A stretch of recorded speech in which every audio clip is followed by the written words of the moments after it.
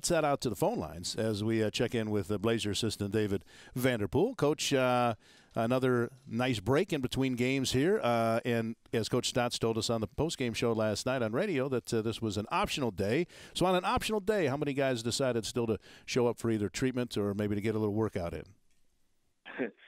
Honestly, pretty much everyone. So, you know, I don't know how, you know, it is optional, and the guys do have a choice, but everybody was there. Damian got a workout in. LA came in, got some shots different guys came in and got treatment and therapy and a lot of different type of things. So pretty much everybody comes to work every single day, and and that's a good thing. You want that.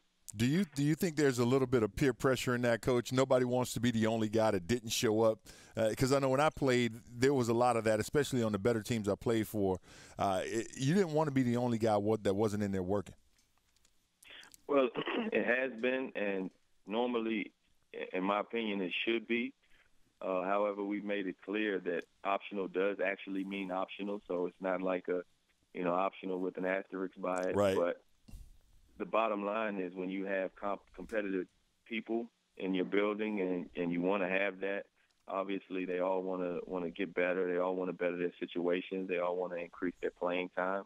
Even the starters and the guys that play major minutes want to play more minutes. So and, and improve themselves. So I mean, it, it's nothing but an opportunity uh, when you have a day where you can actually come in the gym, improve some things uh, about your game and about yourself without any uh, any major uh, major setup or instruction from the coaches. I mean, we come in, we work with the guys, and we will put them through a lot of different things depending on who they are. But you know, it is their day, so they have the option to, to be able to work on whatever it is they feel feel they need to work on individually. So it's, it's really good. It works out for everybody we were a little curious about Wes. Um, obviously, a very scary uh, slip last night that uh, looked like it could have been serious. Uh, has to be helped back to the locker room. Uh, not only seemed to be okay, but came back into the game. Didn't have the kind of shooting night that he normally uh, does. But did he have any lingering effects uh, the night after or the morning after as he came back in today? And I'm sure got some treatment.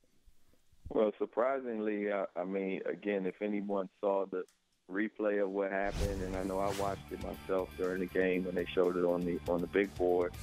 It, it really was a scary situation as far as it looked, and you know anyone else, I don't think would have gotten up from that. And Wes got up and, and continued to play and wanted to play, as a matter of fact, immediately. And that's just you know that's just the type of heart that he has, the type of desire that he has to better himself. And he actually was feeling feeling pretty good today. It was you know more of a hyperextension than anything, and of course, we're going to take as many precautions that are necessary to to make sure that he's fine before we put him back back out there full board. But with his heart and and and you know the, the Iron Man thing is is something I guess that you know they've made as a moniker for him and and more of a, a nickname as far as Trailblazers go. But it it might he might have a little bit of that that stuff that Tony Stark had in his chest. Maybe he has something in his heart with that stuff too. So I, I don't know. I haven't checked, but I'm sure on the MRI something will show up we were saying he's just he's just built he's just there's something different yeah, about the way the way he's put together. There's no question about it.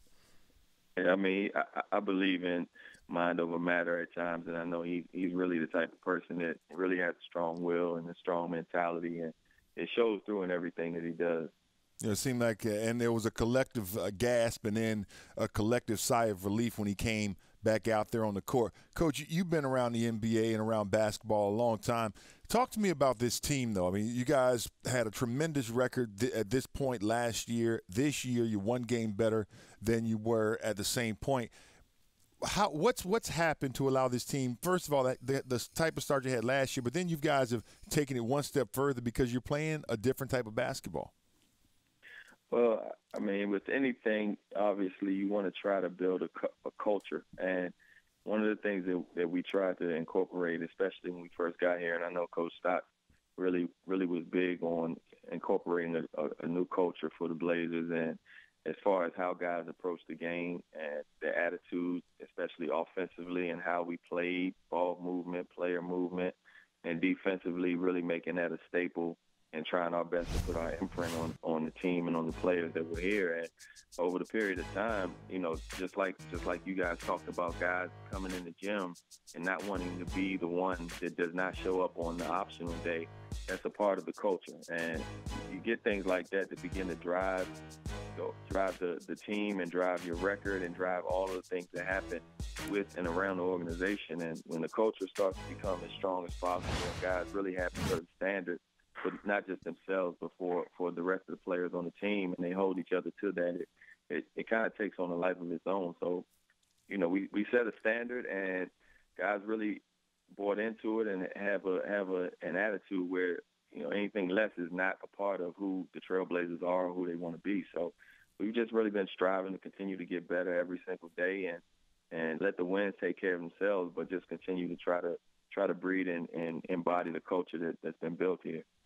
Coach, since day one uh, that he got here, you've been as close as anybody to, to Damian and uh, kind of a, a, mentor in many respects. And you guys have had a, a very good friendship with one another in addition to a coach player relationship. Uh, some guys run away from late game situations that uh, big plays are called for. He just seems to relish and embrace them uh, and obviously excels in those kind of situations. Did you know that about him as you got to, to get to know him as a professional, or is that something that has developed in the time that he just continues to expand on his already great game? Well, I mean, I, I, I really did always see the lack of fear that he's always had since he's gotten here.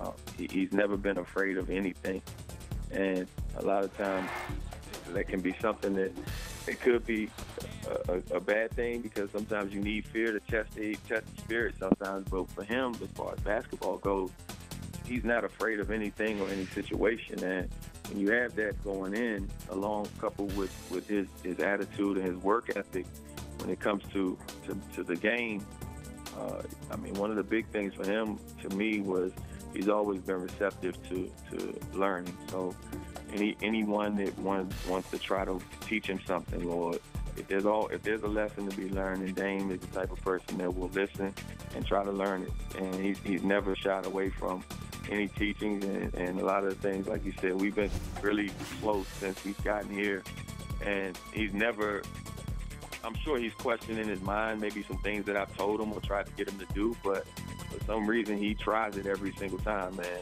It's not so much only, you know, through through summers and, and that type of work, but if we work on something like immediately before a game, I'm like, you know what, you should do this, you know, and try to do this, try to do that. He'll actually do it or try it during the game, and it's a lot of a lot of trust that's there in that situation. I'm I'm happy that he trusts some of the things that I may may try to to, help him with.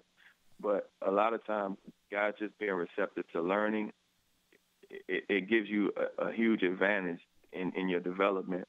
When Coach Stotts uh, recommends certain things for Damian, tells him you need to do this over that, he automatically just grasps onto it and, and tries to do his best to do exactly what's being asked of him. And you don't get that from a lot of superstars, but for him, I mean, he's in a situation now where his his star just continues to rise, and with his own natural ability, not shying away from those moments, having that lack of fear for, for those situations as they come, and then being able to to just continue to have that yearning to learn things, learn new things as as it happens. I mean, I think people forget that he's only in his third season, and you know it's it's easy to compare him to some of the other guys that are all stars and have been in the league for six and seven years and all these other type of things just because of the things he's been able to accomplish. But he's still learning. He's, he still has a lot to learn, and I just see him getting better and better every single day.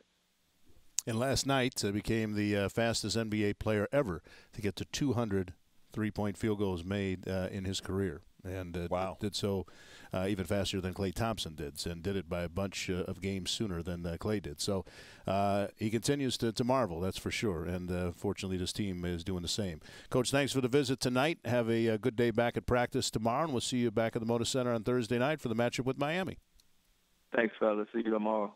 Blazer assistant David Vanterpool, Some good things to say. He and Dame have really been uh, tight since day one, and uh, it's been a good partnership. And uh, and it's nice that as good as Damian is, he's still willing to try oh. some things to be even better. You know what I really like about him? He is the most personable star I've ever met in my Absolutely. Life. You know, he just you call him, He answers. That's the type of person he is. I told him. I said uh, he he says hi to everybody. It doesn't matter if you're the president of, of a place or, or if you're somebody who's uh, an intern.